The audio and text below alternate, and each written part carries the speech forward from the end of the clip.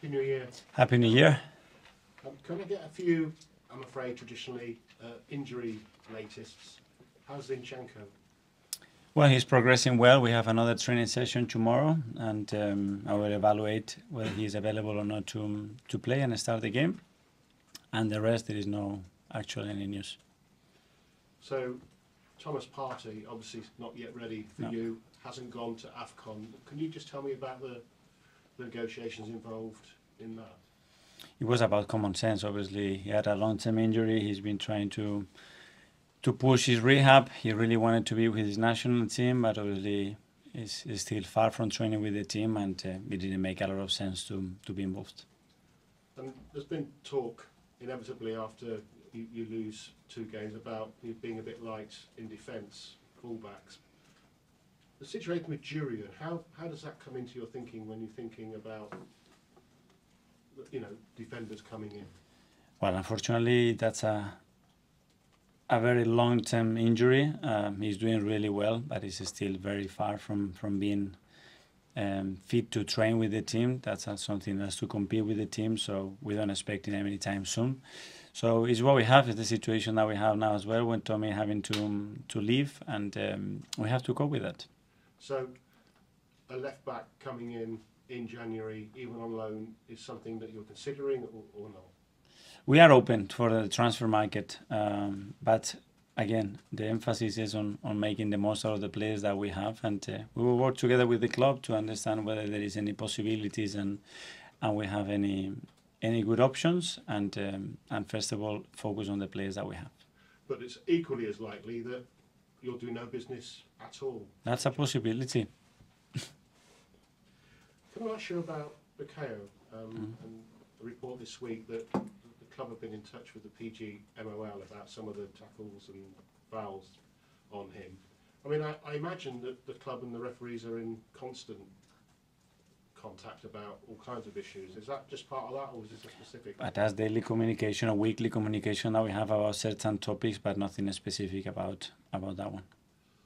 Is there is there a trend though for referees to maybe ignore some of the early tackles in a game, and is that a, is that a worry?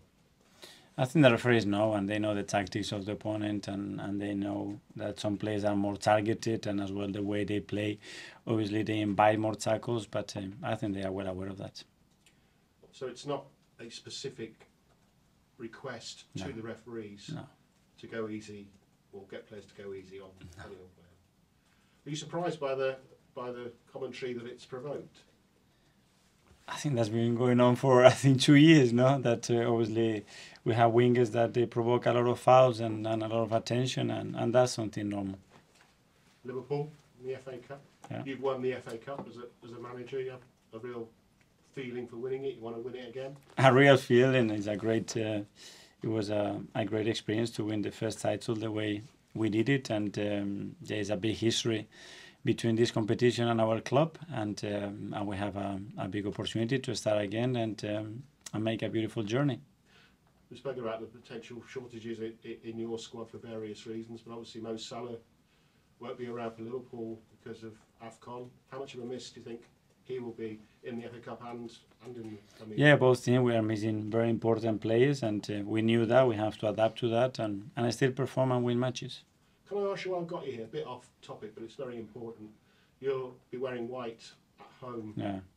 on Sunday, part of the No More Red campaign, you know, the anti-knife crime campaign. How important is it to keep keep that campaign at the forefront? I think it's a great initiative from the club. I think giving support and creating um, a safer environment uh, with the power and, and the capacity that we have to to help people to transform certain areas of, of London as well. I think it's a campaign that started three years ago and um, has helped a lot of people already and, and brought a lot of attention. So we can make the streets safer around um, our city, uh, especially with people that we have kids. Uh, we will sleep better. Brilliant. Thank you, Mikel. Thank you. Ian. Hi, Mikel. How Hi. are you? Good, thank you. Um, is this the ideal tie for you, or is this not the ideal tie for you? A team like Liverpool, third round the FA Cup after the two results you've just had. Is the draw. You know, we played two two weeks ago, and uh, it was an incredible match, and, and I'm sure it will be a really good match again. What I'm trying to get at there is: is it a match whereby you'd rather have this level of opposition where your team have to bring their A game, or would you rather have a level of opposition maybe not as high as Liverpool, whereby maybe they wouldn't have needed to to win it? We don't have a choice. If you ask both teams, probably in the draw, we were expecting something different, but uh, we have this incredible clash uh, in the first round, and um, and we have to go for it. Reflecting back on the defeats to West Ham and Fulham, do you now know what went wrong? Yes, I do. Yeah, What went wrong? we weren't at the level. We weren't good enough. I don't think we deserved to lose the match, but we didn't do enough to win it. Are you worried that's going to continue into 2024? Hopefully not, because it was a one-off. I haven't seen the team do what we did in, in certain periods of the matches, so hopefully not. Has it affected confidence and belief in any way? Affects momentum that uh, that we had um, till Christmas Day. We are top of the league. Six days later, you are fourth. So you can be very tempted to look at things with a microscope or take the telescope and look a little bit further and have things with a little bit more perspective. And my job, big time, is to look with a telescope and, and have perspective and, and analyze things in the in the broader way and don't get affected about one performance. Not results, one performance. Looking at the perspective, I mean, you love this competition. Everyone, the FA Cup is special around the world. It's a great competition, uh, as I said before, very attached to the club and and uh, where the club has won it uh, more times. So um, yeah, we expect a, a great game and um, and a good run. One last one from me. Um, you'll have VAR in the game. We saw VAR used uh, send off Dominic Calvert-Lewin against Palace. Yet there are a lot of games this weekend where there is no VAR. No. Unless tie is played on a Premier League ground, then there's no VAR. Shouldn't the FA Cup, being the competition it is, have the same rules for everybody? I.e., you either all have it or none of you have it. Ideally, yes, I would I would support that idea 100%. Yeah. Um, a lot was made of the Anfield atmosphere before the league game. Um, do you think the Emirates can ever replicate that? It can ever be the same sort of place that can intimidate opponents? it will be our own one, you know, and uh, we are really happy with the atmosphere that we have to we have created at the Emirates, and it's been incredibly supportive. Um, can we tweak it and sometimes make it even more hostile?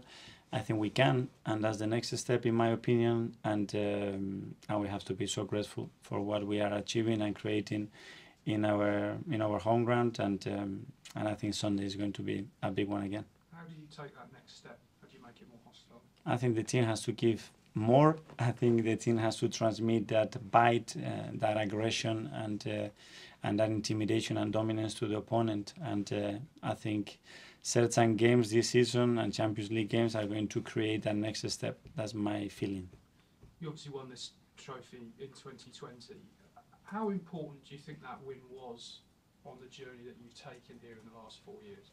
Yeah, winning always gives you more more credit. Um, it attaches you emotionally to people because winning at, at the end it creates a, a very special feeling, and those moments are always um, really important when you want to evolve relationship and when you have certain attachment to the team and the players, and uh, and I think that helps. That win was was a big deal for you though as a Obviously your first trophy. Do you, do you think there was a chance that you might have lost your job in the difficult months that followed if you'd not had that trophy to sort of fall back on? Bing, I don't know. maybe yes, maybe no. Uh, we won it for a reason. We deserved to win it. We did it against big teams as well. Only that one after the Community Shield as well. So um, yeah, we are here for a reason. I only ask because I don't know if you ever reflect on that as being a, a really pivotal moment for you, just as a manager. Well, I think it helps, as I said, but I don't know. After a month gone by, look now, you lose two matches, and what is happening now? And uh, six days ago, we were top of the league, which means that we're the best team, more consistent team in the league, in the Premier League. Um, yeah, put things in perspective. Thanks, James. Simon. Mikel, you're, you're supposed to have this mid-season break after Sunday's game. Yeah. If, if you have a replay, um, you won't have that break. Just sort of how difficult is that for planning? How frustrating is it? Something the calendar needs to be looked at because it doesn't really feel like a break if you suddenly have to play in the middle of Yeah, that break will be minimal, and and we have planned with both the scenarios, obviously, because it's a possibility always in football. And um, and yeah, we want to win the game. We will try to win the game, um, but that has to be considered because it's is there. replays in the FA Cup, sort of third, fourth round, something that needs to be looked at next season, particularly when you've got expanded Champions League games. Is it something that might have to come out of the calendar? I think so, but um, we will see what happens with because with the new format of Champions League as well, there will be gonna be more games. So I don't know where we're gonna fit them. Just ask you as well about um, the goalkeeper. Obviously, in the Carabao Cup, you played Aaron for the game. Is he going to play on Sunday? We will see on Sunday. I cannot give you the lineup right now. And lastly, on on Partey, are we for him talking about there's still weeks to go or months to go in terms of come back? Hopefully, it's weeks. Um, when he's going to determine and how many weeks, it would a little bit depend on on how the the next step uh, training with the team um, will take him. But uh, he's progressing well. Thank you, Kaya. Hi. Hi. Um, another one of your injured players, Fabio Vieira. I just want to ask how he's getting on in terms of his recovery. 'cause he's been out for- He's doing well again, but again, it was a surgery that required um, two different things to get um, to get resolved. And um, the first signs are good. Uh, obviously, it's still a bit far from from what we want him, but um, but he needs to keep working, and hopefully, in the next few weeks, we can have him. And him being out might open up another chance for some other midfielders like Emile Smith Rowe. Mm. Um, in the summer, there were some links to him leaving, particularly in that last week of the window. I just wondered how close was that? Was that ever a, a thing? Did you ever have a conversation with him saying that he needs to stay? It was never part of our plans, no. And going forward, I know you've wanted to give him more minutes this season. Unfortunately, injuries have got in the way, and just as you were starting to build up, he got that injury before. Um, if he comes to you towards the end of the season and, and his minutes haven't necessarily changed, and he says, "I need to leave for the good of my career to go and get minutes elsewhere," will you accept that, or will you just say to him, "Look, Arsenal's the best place for you to continue your development. I want you here." Uh, this is a two-way um, conversation all the time with players, and, and I love listening to understand how they're feeling and what is the best things or, or what they want to go because you really have to be aligned with them and, and how they're feeling and they have to feel important. Obviously, there is still the biggest part of the season uh, to play now, and uh, and we have to be patient, and he will have his chances. If a player more generally comes to you and says, "I want to leave to get more minutes," are you ever going to stand in their way, or will you happily just say, "If you don't want to be here, then that's fine"? Well, it depends on the situation in the squad. You know, I, want to help. We want to help uh, the players to fulfill um, their feelings, but as well they need to understand and they they are in a team in a squad that has been assembled and uh, and planned with them in the squad, and uh, you don't always get what you want. You know, because maybe they wanted something different six months ago. Uh, that it was a new contract or it was uh, another individual uh, target that they had. So it doesn't always go your way. Thanks. And final live section, James. Hi, Miguel. Hi.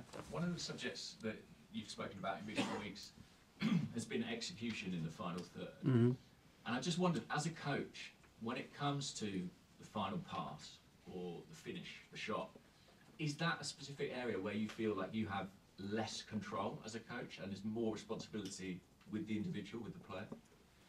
Well, I think overall it's the execution is in, in every part of the of the field, but when it comes to those spaces, the timing and and the definition of an action uh, becomes trickier to coach and certainly to replicate an action in the game. That's probably the hardest thing to replicate in in football. Uh, the timing, the behavior of the opponent, the distance between the ball and the feet of the opponent, the exact location of that shot, the position of the keeper, um, the game state. So it's it's it's very tricky, but um, it's something that we have to improve recently, especially in, in the way that we have transformed those chances into goals. And do you try to emulate that in, in, in training then, that kind of specific Yeah, for sure. Yeah, We have to. It's our job, and, and, and the things that put them in the in the most concrete and, and reliable scenarios, I think is going to help the players to do it better. And, and in terms of that finishing, you know, the, guys like Saka, Martinelli, Martin Odegaard, maybe they're not finishing at the level they were previously, maybe last season. Do you think that's just a question of over time it will come back? It fluctuates naturally. Is it confidence? What, do you put it down to? Well, I think what they did last year is exceptional, you know, and to maintain that those numbers, we knew that it was going to be extremely difficult because it was a one-off, and no one-off for us, one-off in the league. Uh, so we know that we need other resources and other kind of goals to maintain the levels that uh, that we want.